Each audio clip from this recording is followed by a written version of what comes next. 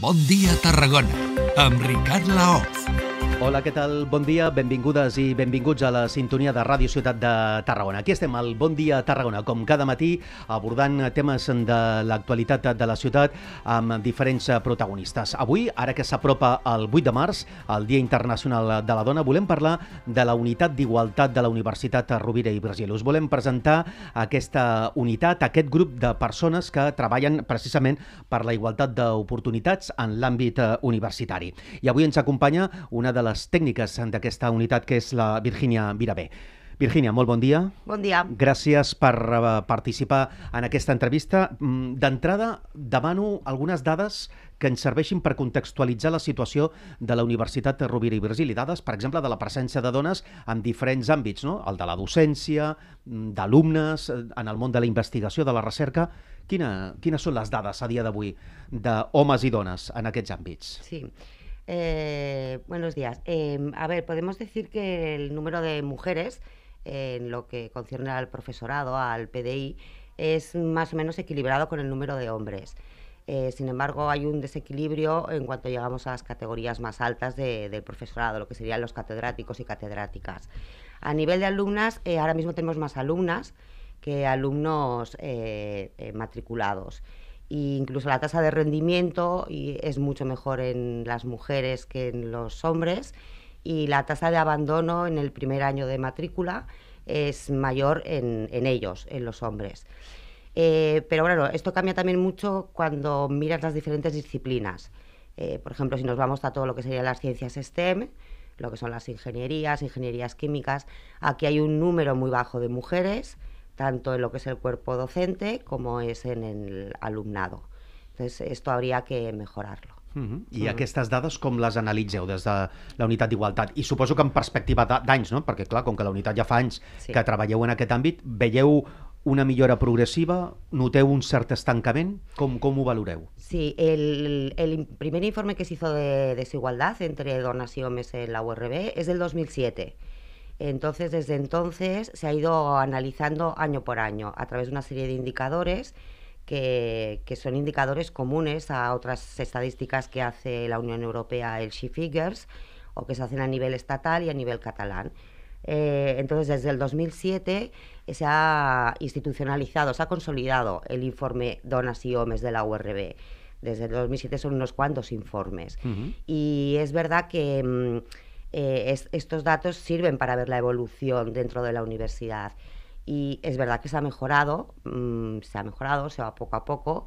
Eh, mm, respecto a lo que sería la media catalana y, nacional, em, estamos en algunos datos un poquito mejor, pero bueno, vamos allí y sí que es verdad que la trayectoria de tantos años sirve para ver una pequeña mejora, però todavía queden desigualdades por, por superar. Doncs al fil d'això, quines són les principals desigualtats? O, o, o dit d'una altra manera, quins són els reptes que cal treballar um, sí. de manera immediata? Sí, por ejemplo, el, todo lo que sería el, lo, bueno, lo que se puede llamar el, el techo de cristal, ¿no? El, al final la, la, la, promoción en la carrera académica de, de, las mujeres, es verdad que la proporción catedráticos hombres, catedráticas mujeres es muy es, es, eh, sobrepasa mucho el catedrático hombre.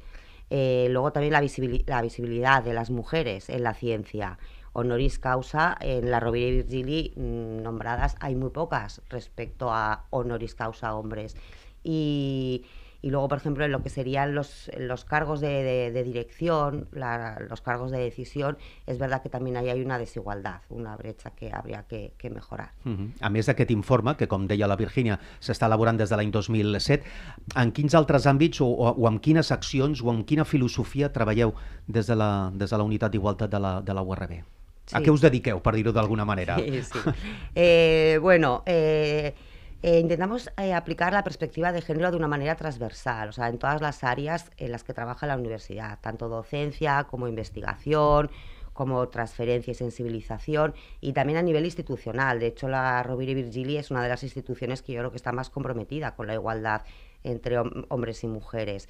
Eh, pero sí que es verdad que hay dos momentos puntuales del año, eh, que es donde más actividades se hace, que es el, el 8 de marzo, y el 25 de, de noviembre, el dia de la eliminació contra la violència de les mujeres. Sí. Ja que parles doncs aquestes dates i ja que eh, tenim aquí a la cantonada el, el 8 de març, eh, aquests propers dies, aquestes eh, properes setmanes, què esteu preparant? Sí, pues mm, precisamente esta tarde empezamos la, lo que sería la quinceava Semana de la Igualdad. Llevamos 15 años haciendo una semana en la que se organizan una serie de conferencias interdisciplinares eh, eh, abiertas al público, o sea, todo el mundo se puede asistir y ahora se puede conectar porque se retransmiten en online. Y se trata de diversos temas, de la igualdad en cultura, en sociología, en derecho, en cine. Y empezamos justo esta tarde, esta tarde con, con la intervención de, de una profesora de la UB, de Sara Moreno Culom, que nos hablará de qué significa mirar con perspectiva de género. Sí, ella es socióloga y bueno, entonces en el marco de, de esta Semana de la Igualdad, todos los años también lo que se hace es el acto de entrega de la distinción María Antonia Ferrer, que, que llevamos también 15 años entregándola.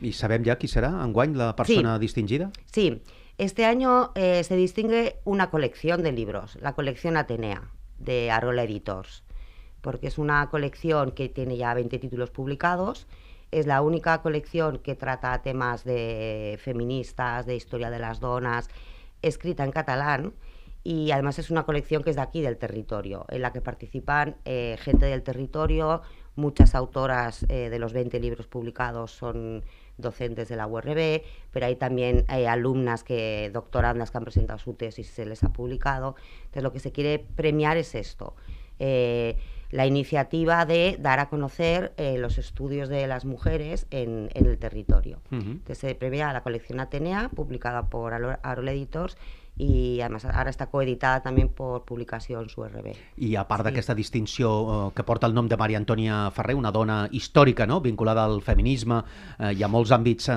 de, de l'educació, eh, quines altres coses prepareu mm, per aquests propers dies? Hi haurà altres actes públics eh, oberts a tothom? Eh, no, este año serán todo conferencias retransmitidas en online y bueno, y la distinción María Antonia Ferrer. Haremos un acto especial de presentación del calendario de este año, del 2022, que es sobre mujeres que historiadoras. és aquest que tenim aquí, que ara podem, podem ensenyar, si enfoquen la, la imatge, és aquest eh, calendari. Sí, es- Dones historiadores, no? Sí, sí, exacto. Este es un, esto el- el- es también otra de las acciones eh, que además tiene bastante impacto de, de la unidad, que se hace desde el 2010. Se hizo el primer calendario y cada año se elige una disciplina científica.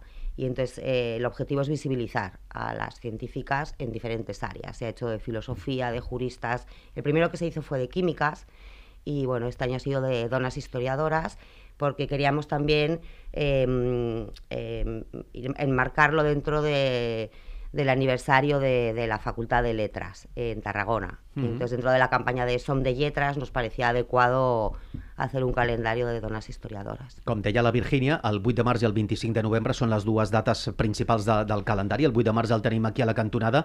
El 25 de novembre recordem que es commemora el Dia Internacional de la Lluita contra la Violència de Gènere. I aprofitant això, eh, li volia preguntar també a la Virgínia si eh, hi ha casos de violència de gènere a la, en un àmbit com de la universitat, que sembla que és un tema que no hagi de pertànyer al món de la universitat, i en casos com aquest us arriba a vosaltres o hi ha altres eh, canals per denunciar-ho?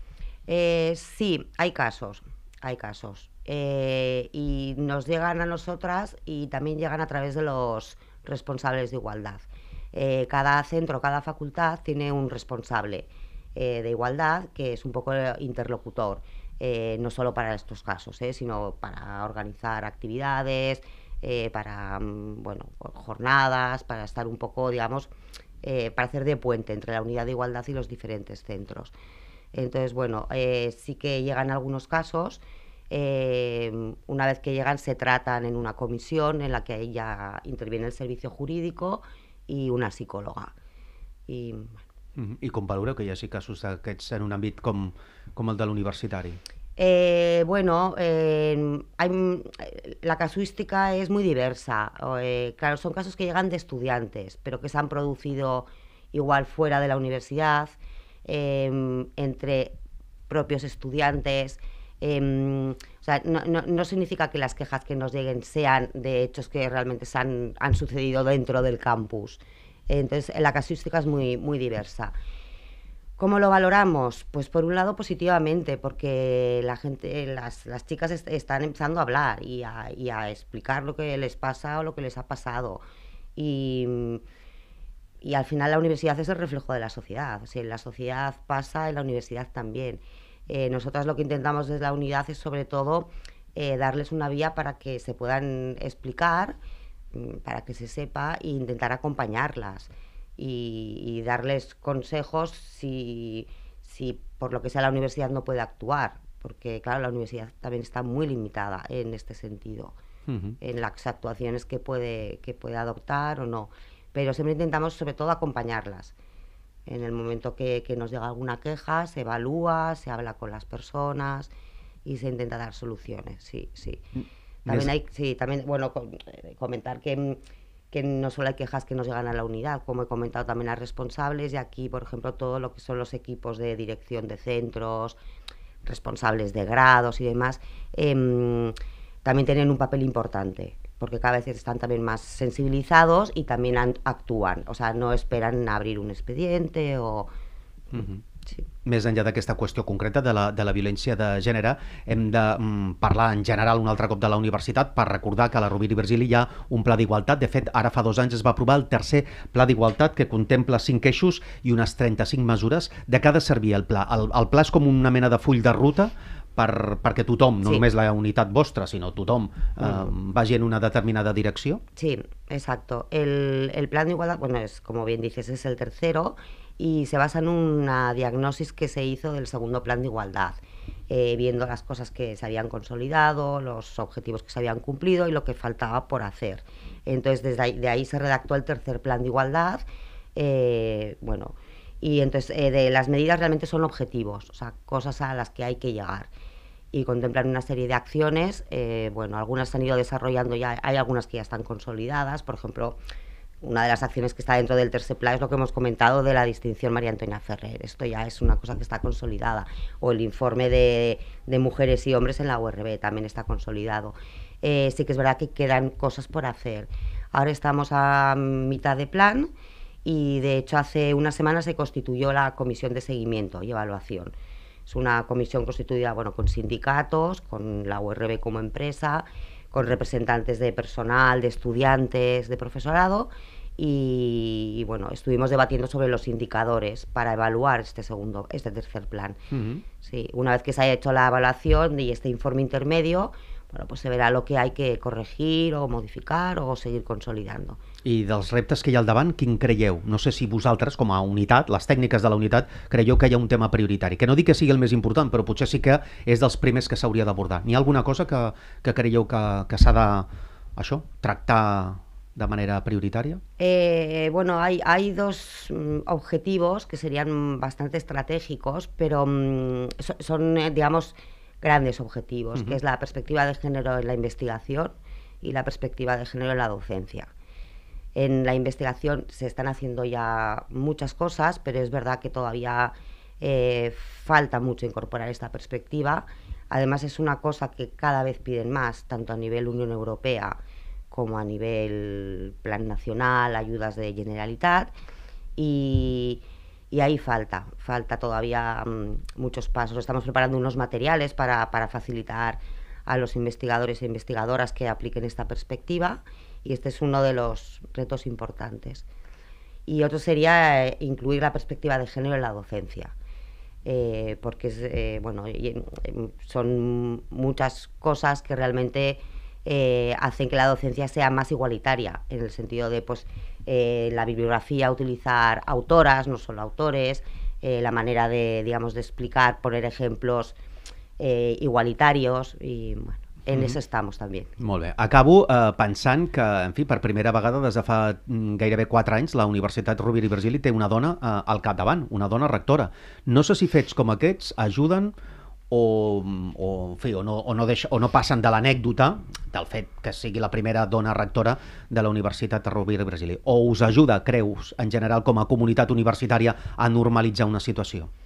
Sí, yo creo que sí que ayuda, sí que ayuda, sí, sí. Pero bueno, más que, que el hecho de que sea mujer o no, es el hecho de que del compromiso, porque puede haber una mujer rectora pero que no sea feminista. Entonces no tampoco ayudaría mucho.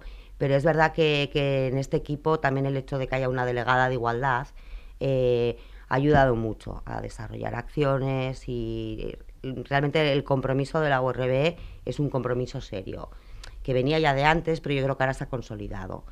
Y, bueno, de hecho en, en los rankings eh, internacionales eh, la, la Rovira Virgili está situada dentro de las 30 primeras universidades mundiales en lo que es el compromiso de, de igualdad de género. Uh -huh. Luego, esto realmente demuestra que, que, que hay compromiso, que hay compromiso. I que s'està realitzant, no? que s'està sí. duent, duent a, a la pràctica. Doncs amb aquesta dada, que contextualitza la importància de la temàtica també a nivell internacional, ens quedem en aquesta conversa avui amb Virginia Mirabé, una de les tècniques de la Unitat d'Igualtat de la Universitat Rovira i Virgili. Ara que s'apropa el 8 de març, n'hem volgut parlar aquí, al Bon Dia Tarragona. Virginia, moltes gràcies i moltes felicitats per la feina que feu. Gràcies a vosaltres. Gràcies a la Virginia, avui la convidada parlant d'igualtat a la Universitat Rovira i Virgili aquí a Ràdio Ciutat de Tarragona.